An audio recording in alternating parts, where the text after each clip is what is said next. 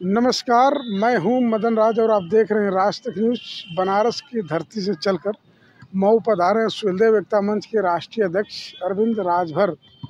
बता दें कि ये सोशलिस्ट हैं और ख़ास करके बेचू में ज़्यादा मिलते हैं।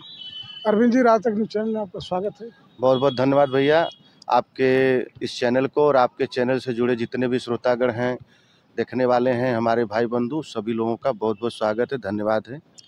अरविंद भाई इतना संगठन था राजभर समाज का। जी जी। फिर भी बना लिया आप।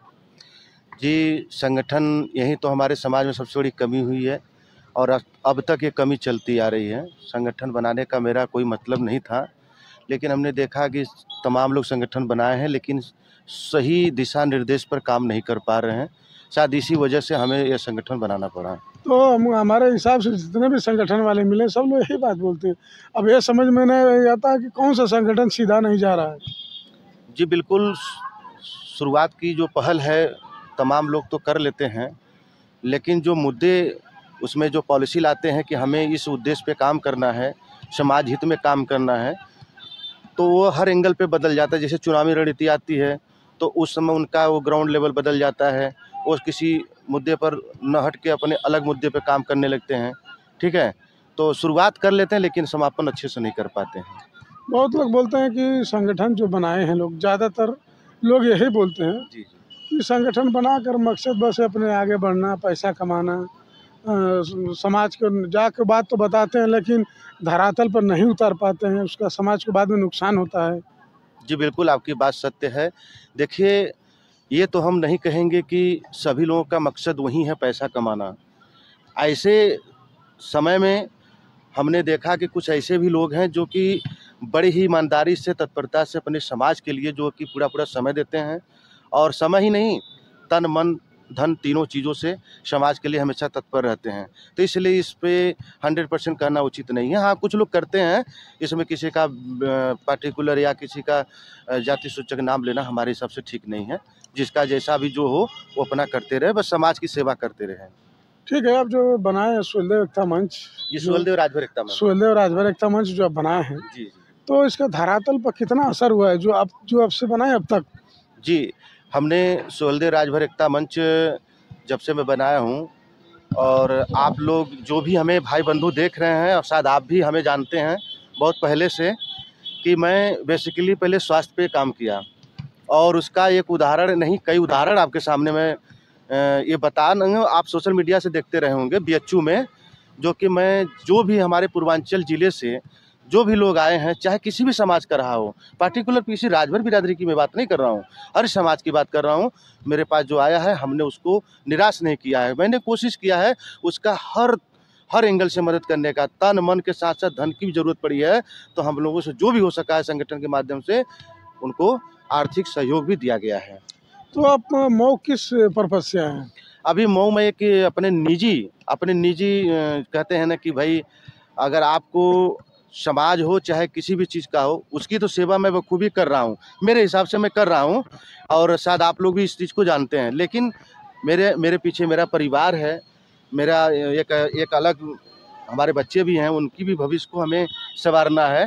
तो इसीलिए मैं बीएचयू के अलावा मैं एक निजी प्रोजेक्ट पे भी काम कर रहा हूँ, जो इस मऊ ज़िले को मैं, मऊ और बलिया दोनों ज़िला में चूज़ किया हूँ। और चूज़ करके प्रोजेक्ट के तहत मुझे मिला है तो इस पर मेरा थोड़ा वर्क चल रहा है। तो इसलिए अपना आर्थिक जो इकोनॉमिकल ग्राफ को हमें ऊँचा करना है अपने बच्चों के भविष्य के लिए ये करना पड़ रहा है। अभी लोकसभा चुनाव आएगा तो आपका संगठन के लोग किससे सपोर्ट करेंगे? हमारा देखिए पहले तो मेरे संगठन का किसी भी राजनीतिक पार्टी से न प्रेरित है और ना ही मैं किसी पार्टी कहूँगा कि आप लोग इसको वोट दीजिए। मेरा मेरे संगठन और मेरे पूरी टीम का यही एक उद्देश्य है ये लोकतांत्रिक देश है। आप लोग इसके लिए स्वतंत्र हैं आपका ये मत है आप लोग अपनी इच्छा से जो समाज हित में इस देश हित में काम कर रहा है उसको आप समर्पित करिए। लेकिन कुछ तो सोचेंगे ना कि हम हमारा प्रत्याशी है इसको हम संगठन इसको अगर जो हमारा संगठन वोट करेगा तो हमारे संगठन को सपोर्ट करेगा तो हम धरातल पर जाएँगे समाज की भलाई करेंगे कुछ तो सोचेंगे ना। बिल्कुल हमारे जैसे कि मैं अपने विधानसभा अपने लोकसभा की बात करें तो हमारे लोकसभा में इस समय वर्तमान में जो हमारे देश के प्रधानमंत्री आदरणीय नरेंद्र मोदी जी हैं और वहाँ हमारे यहाँ के सांसद भी हैं और बहुत ही सौभाग्य की बात है। और हम देख रहे हैं कि लगातार अपनी पदों के हिसाब से जो उनकी जिम्मेदारियाँ हैं, अच्छे से, ईमानदारी से निर्वहन कर रहे हैं। आगे देखा जाएगा, अगर उनके जैसा कोई और आता है तो उन पर विचार व्यक्तिगत विशेष में किसी के बारे में नहीं कर सकता हूँ। हाँ हमें जो अच्छा लगेगा, जो उनके कर्म अच्छे लगेंगे, उनको मैं उस टाइम पर चुनने का पूरा पूरा कोशिश करूँगा कि मुझे इनको वोट देना है।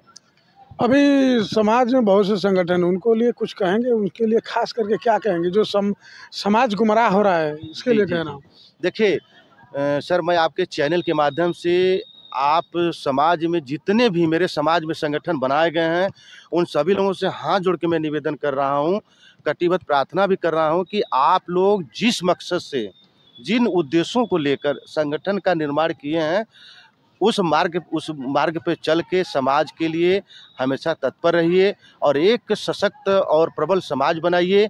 और मेरा मानना है कि आप लोग अपने अपने संगठन के माध्यम से चाहे भी हैं, जो भी काम कर रहे हैं, वो समाज हित में करें, इसमें नो डाउट कोई शक नहीं है। लेकिन थोड़ा सा ध्यान दीजिए, अभी भी मेरे समाज में जो शिक्षा का ग्राफ है, बहुत ही कम है। तो इसलिए शिक्षा पे विशेष ध्यान दीजिए। हम स्वास्थ्य पे ध्यान दे रहे हैं शिक्षा पे भी ध्यान दे रहे हैं लेकिन आप लोग भी ध्यान दीजिए ताकि यह काम आसानी से पूरे समाज में अच्छे तरीके से निर्वहन हो सके। ठीक है अभी आरक्षण की लड़ाई चल रही है। जी। तो अनिल राजभर बोलते हैं कि मैं लड़ाई लड़ता हूँ और प्रकाश राजभर जी बोलते हैं मैं लड़ता हूँ जबकि दोनों समय फ़िलहाल में बीजेपी के साथ हैं। और जागो राजभर जागो टीम बोलते कि मैं लड़ता हूँ। तो सच्चाई कौन लड़ रहा है? एस टी के आरक्षण कौन लड़ रहा है आपके हिसाब देखिए सच्चाई तो ये है कि जो कोर्ट का फैसला आया हुआ था अभी विगत कुछ महीने पहले की बात है। तो जागो राजभर जागो जो कोर कमेटी एक बनी है हमारे बनारस की धरती से उन्होंने इस पीआईएल को दाखिल किया हुआ था और उन्हीं के उस पीआईएल के अगेंस्ट में कोर्ट ने आदेश दिया था, आदेश नहीं दिया था, उन्होंने निर्देशित किया था गौर स्टेट गवर्नमेंट को कि आप लोग इस पर विचार करिए कि क्या राजभर भर समाज को किस स्तर का दर्जा मिलना चाहिए। लेकिन दुविधा इस बात की है, सर, ना, आपके चैनल से, माध्यम से मैं बताना चाहता हूँ, चाहे वो अनिल राजभर जी हों, चाहे वो प्रकाश राजभर जी, सब मेरे समाज के हैं और जागो राज, जागो कमेटी जो है, वो भी अच्छा मेहनत करे, सबको शुभकामनाएँ हैं, अग्रिम बधाई है। लेकिन मैं बस इतना ही कहना चाहूँगा कि आप लोग एक दिशा निर्देशित होकर काम करें। आरक्षण की ज़रूरत है समाज को। मैं इसका कभी बगावत नहीं किया हूँ। आरक्षण की ज़रूरत है, लेकिन आरक्षण हमें कौन सी कैटेगरी का चाहिए, ये आप लोग तय कर लीजिए, क्योंकि मुझे देखने को, सुनने को मिल रहा है, कुछ लोग एसटी की मांग करते हैं, कुछ लोग एससी की मांग करते हैं, कुछ लोग कहते हैं हम विमुक्त जाति हैं, और कुछ लोग कहते हैं हम जर्नल हैं। तो इस पर जर्नल की बात अगर हम करें तो भाई हमारा इतिहास, धरोहर जो भी रहा है, उस अगेंस्ट में वो सही है। वो सही है।